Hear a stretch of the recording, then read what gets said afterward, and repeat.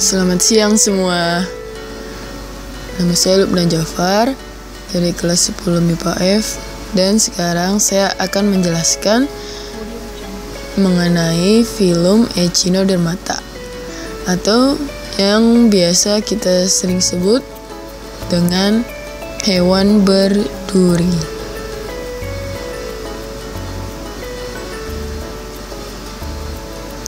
Kata Echinodermata berasal dari bahasa Yunani, yaitu echino dan dermata. Echino berarti landak, sedangkan dermata berarti kulit. Di pembahasan kali ini, kita akan membahas mengenai lima pokok bahasan. Yang pertama yaitu habitat dan cara hidup.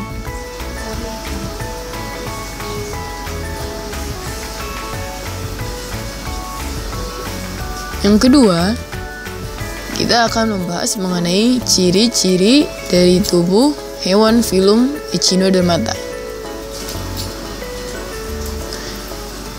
Selanjutnya, kita akan membahas mengenai struktur dan fungsi tubuh.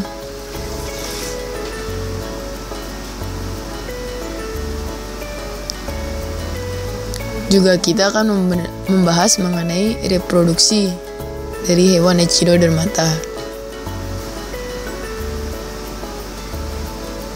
Dan yang terakhir yaitu klasifikasi.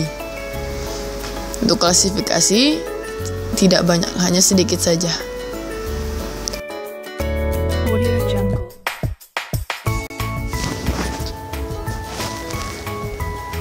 Nah, sekarang kita masuk yang pertama, yaitu habitat dan ciri hidup, cara hidup hewan Philomechinodermata.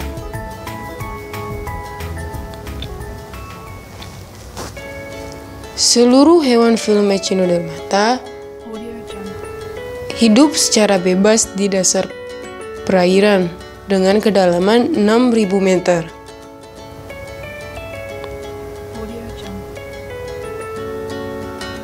Namun ada juga yang hidup di desa yang hidup di pantai. Seperti he, seperti bintang laut ini.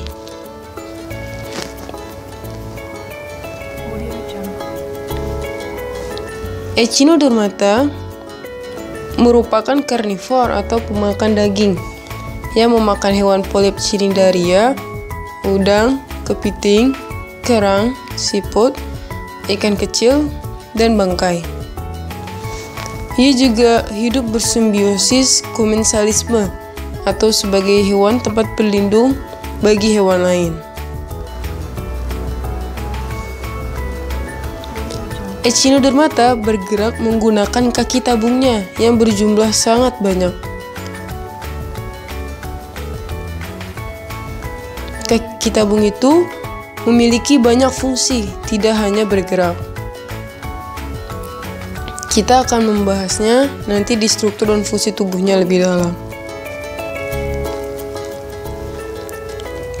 Setelah ini, video akan menggambarkan bagaimana hewan echinodermata makan mem memakan mangsanya.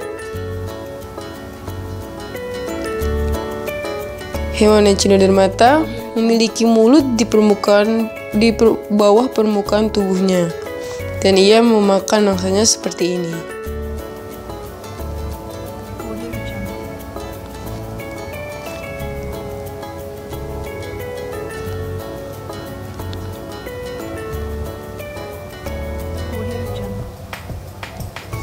Itulah habitat dan cara hidup hewan echinodermata. Namun ada juga loh hewan echinoderm hewan mata yang hidup secara bergerombol bersama sama hewan-hewan sejenisnya. Seperti yang satu ini.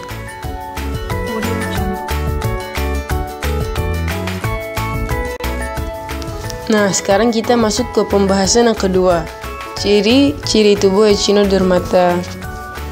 Pertama, mari kita lihat berbagai macam bentuk dari tubuh echinodermata.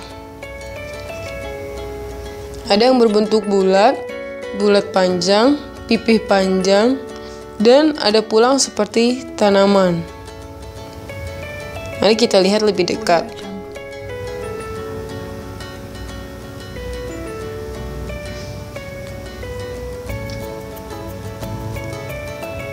Ini merupakan contoh yang berbentuk bulat.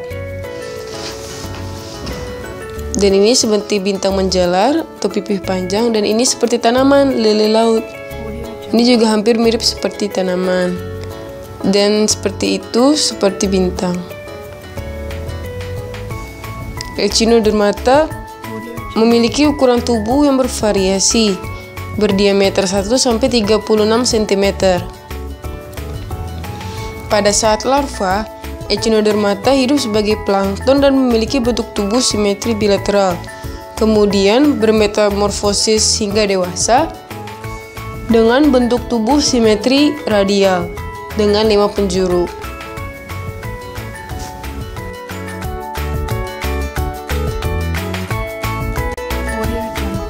Sekarang kita masuk ke pembahasan yang ketiga yaitu struktur dan fungsi tubuh hewan Echinodermata. Kita akan mengawalnya dengan perkenalan bagi bagian-bagian tubuh.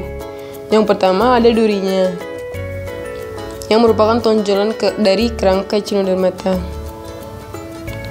Dan ini merupakan bagian dari pencernaannya. Itu merupakan perutnya dan itu mulutnya. Dan ini merupakan uh, sistem ambulakral yang terdapat pada bintang laut masuk ke saluran cincin, saluran radial, selanjutnya saluran lateral, dan ada ampula, lalu kaki tabung. Jadi itu yang bulat-bulat biru itu merupakan ampula dari bintang laut. Dan yang berwarna kuning itu merupakan sistem de saraf dari bintang laut, cincin saraf dan dibaliknya ini merupakan uh, sistem air pada echinodermata yang melalui dari mulutnya nanti. Nah, seperti ini kita lihat lagi yang kuning merupakan sarafnya dan juga merupakan plat-plat kapur yang menjadi kerangka bagi echinodermata. Hmm, dan itu ampula dan kaki tabungnya. Dan itu merupakan saluran kanal. Ya. Selesai. Nah, sekarang kita akan mendalami lagi mengenai sistem tubuh echinodermata. Pertama-tama echinodermata hmm, pertama kita akan melihat kerangkanya.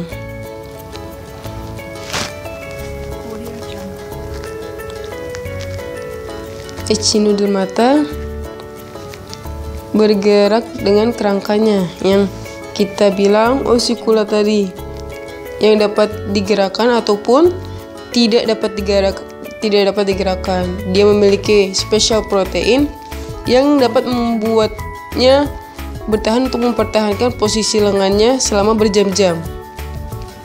Dan di dalamnya uh, Echinodermata memiliki sistem cincin saraf pusat ke, selu ke seluruh lengannya. Echinodermata tidak memiliki kepala maupun otak.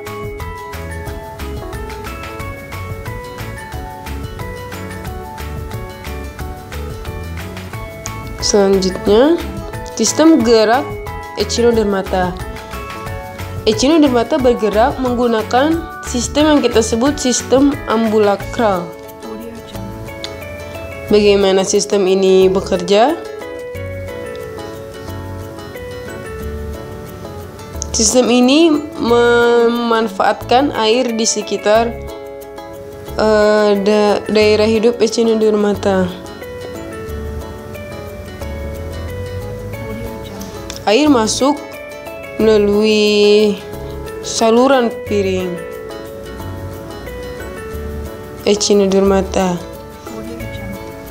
yang selanjutnya akan melalui saluran radial ke berbagai penjuru atau ke berbagai lengan dari echinodermata. Air-air tersebut akan dikendalikan oleh ampula-ampula yang terdapat di dalam lengan echinodermata. Ampula tersebut yang nantinya akan menggerakkan kaki tabung si echinodermata sehingga echinodermata dapat bergerak ke arah mana pun yang ia inginkan. Nah, fungsi dari kaki tabung ini tidak hanya untuk bergerak, tetapi juga untuk berpegang pada substrat, memegang mangsa, maupun bernafas.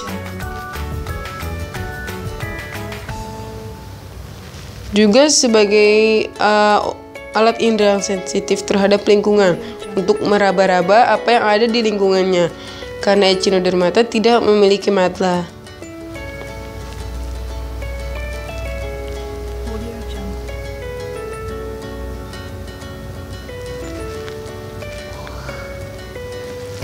Echinodermata menggunakan kaki tabungnya juga dapat merangkak ke atas seperti di video ini.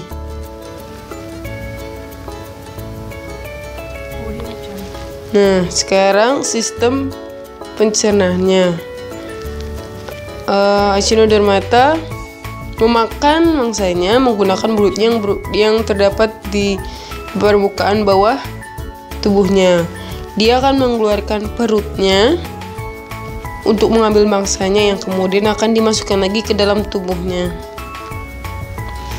Nah, sekarang kita lihat uh, salah satu video ketika Echinodermata menangkap mangsanya.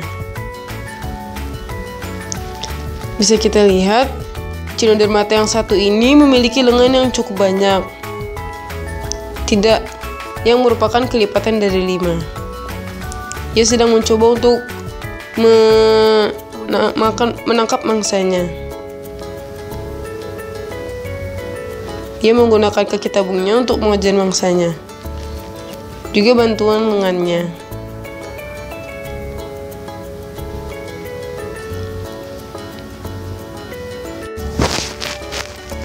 Nah, sekarang kita masuk ke pembahasan yang kelima, yaitu klasifikasi. Yang pertama, terhadap klasifikasi yang biasa disebut bintang mengular atau Ophiuroida. mereka ini tidak memiliki ampula ataupun alat penghisap dan di mereka juga tidak memiliki anus mereka mengeluarkan sisa pencernaan makanannya melalui mulut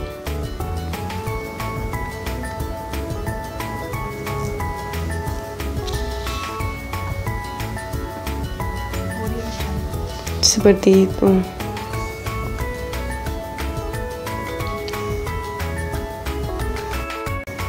Ada juga bulu babi yang masuk ke dalam klasifikasi Echinoidea.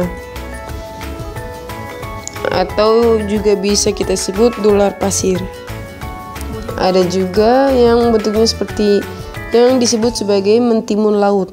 Masuk ke dalam klasifikasi Holoturoidea dan ini merupakan bentuknya dari seperti bintang menjadi bulat bulu babi.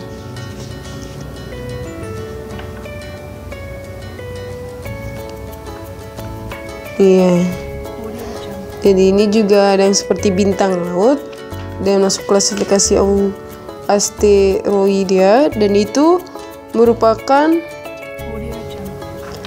merupakan bintang bulu dan itu merupakan bintang bulu yang satu kelas yang mm, merupakan satu kelas dengan lili laut dalam kelas seni dalam kelas Cerinoidea.